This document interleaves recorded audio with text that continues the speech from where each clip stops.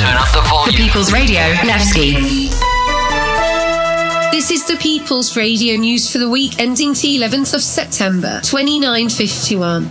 Our top story this week the second major defeat of terrorist group Xenothreat in nearby Stanton. Civilian Defense Force pilots engaged Xenothreat's capital ships and support for well over a week, effectively driving Xenothreat back to their pyro system home of Ruins Station.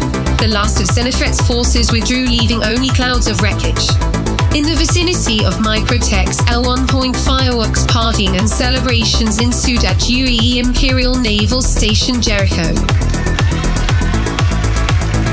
And all across Stanton Comrades broadcast the following message from Special Agent Rowena Dooley, the advocacy's head of civilian defense forces.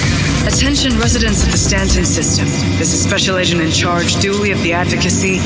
I'm happy to report that our latest intel indicates that the last members of the outlaw pack known as Xenothreat have withdrawn to the Pyro system. We are officially disbanding the Civilian Defense Force, but want to thank them for their tireless efforts to keep this system safe. Thank you.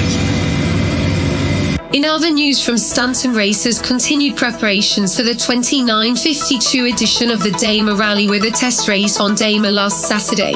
This test run was treacherous and claimed the lives of several racers.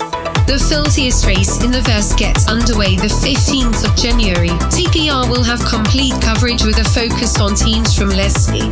And while we're on the subject of Levski, long rumored renovations have been confirmed by the People's Alliance. Work on the improvements is set to get underway on Anthony Tanoka Day, the 9th of December. I'm Jen Greenfield. From all of us here at the People's Radio, take care and fly safe in the week ahead.